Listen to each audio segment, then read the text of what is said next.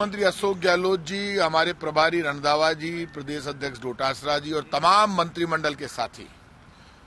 इस बात पर डिस्कस हुई कि हमारी जो योजनाएँ, उस योजनाओं की चर्चा पूरे देश में है। उन योजनाओं को पूरे तरीके से सब जगह तक पहुँचाया गया है, लेकिन आगे भी ज़्यादा से ज़्यादा योजनाएँ पहुँचे, लोगों तक पहुँचे और योजनाओं का प्रचार प्रसार सब लोग मिलकर जनता के बीच में जाए, जो राहुल गांधी का संदेश है।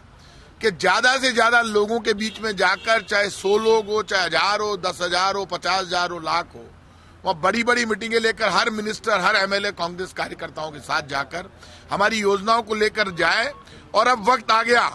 जब खुलकर ये बात हो कि हमारी राजस्थान की सरकार का काम केंद्र की सरकार से सौ गुना अच्छा है, क्योंकि हमारी चिरंजीवी योजना बोलती है, आप खुद इस बात को जानते हो कि 10 लाख तक का जो प्राइवेट अस्पताल में इलाज फ्री हो रहा है उसमें 3500 करोड़ से ज़्यादा रुपए लोगों के लिए खर्च हो गए, लाखों लोगों का इलाज हो गया, और हमारी जितनी भी वेलफेयर की योजनाएँ, उनकी चर्चा पूरे देश में है।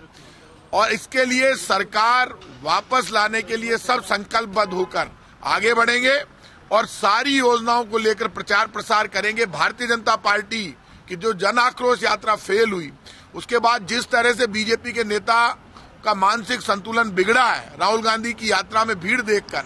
उसके बाद जो वो झूठे आरोप, प्रत्यारोप कांग्रेस के ऊपर लगाते हैं, उनको अपने काम का हिसाब देना चाहिए। वक्त आ गया जब बीजेपी की सरकार से उनके काम का हिसाब मांगना है और वो हिसाब राजस्थान का पूरा मंत्रिमंडल, विधायक, हमारा संगठन सब मिलकर, बीजेपी से उनकी महँगाई, गरीबी, बेरोजगारी के लिए जो बीजेपी जिम्मेदार है, उससे जवाब मांगने का काम हमारा है कि पेट्रोल, डीजल महँगा आपने कर दिया, आटे, दाल, चावल पर टैक्स लगा दिया, पराठे पर टैक्स लगा दिया, दही छाछ पर टैक्स लगा दिया।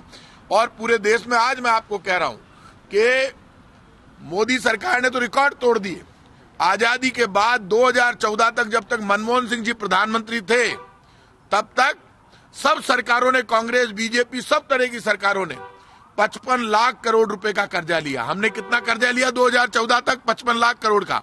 और मोदी सरकार ने 2014 के बाद इन आठ वर्षों में पिचासी लाख करोड़ रुपए का कर्जा लिया है। मोदी सरकार को बताना चाहिए कि आपने सिर्फ़ आठ वर्षों में पिचासी लाख करोड़ रुपए का कर्जा लिया।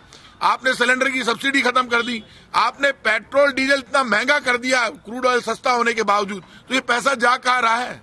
क्योंकि आप दस दस लाख करोड़ रुपए पूंजीपतियों के माफ़ कर देते हैं। पिचासी लाख करोड़ रुपए कर्जा लेकर। मोदी सरकार ने किया क्या? आठ वर्षों में लिया है। और दूसरी तरफ़, सड़सठ वर्षों में पचपन लाख करोड़ रुपए का कर्जा लिया है सब सरकारों ने।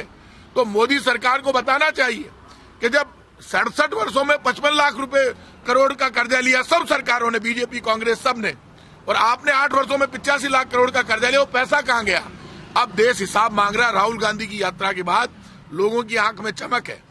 कि कोई है जो निकला है देश में, जवाब मांगने के लिए। मैं आज आपसे कह रहा हूँ, राजस्थान में 2023 की सरकार फिर बनाएँगे। यही मंथन पूरा हुआ है और 2024 में पूरे देश में राहुल गांधी के नेतृत्व में कांग्रेस की सरकार बनेगी और इन लोगों की सच्चाई पोल खुल जाएगी, सामने आएगी कि ये लोग, इन लोगों ने देश के साथ धोखा किया नोटबंदी के नाम पर, पंद्रह लाख और अच्छे दिन के नाम पर। और नारा दिया था, अब और नहीं, पेट्रोल, डीजल की मार, अब की बार मोदी सरकार, अब और नहीं, महँगाई की मार, अब की बार मोदी सरकार, सब दावे इनके फेल हो गए। और अब आज स्ट्रेटेजी यही बनी है कि राजस्थान में 2023 से पहले हमारी इतनी योजनाएँ आ गई अब बजट में मुख्यमंत्री जी ने खुलकर कहा कि सारे मंत्री बैठे हो। आपके भी कोई सुझाव हो, युवाओं को समर्पित होगा बजट, लेकिन बजट, मैं इतना दावे से कह रहा हूँ, ऐसा बजट आएगा कि बीजेपी वालों की पहले ज़मीन खिसक गई थी अब बीजेपी वालों का परमानेंट दिमाग खराब हो जाएगा जब बजट आएगा। आपके सुझाव की काफ़ी चर्चा है। मंत्री भी कह रहे हैं कि आपने बहुत अच्छा सुझाव दिया मैं तो सुझाव अच्छे देता हूँ। और जो सुझाव आता है वो कांग्रेस के हित में प्रदेश के हित में आप देता है।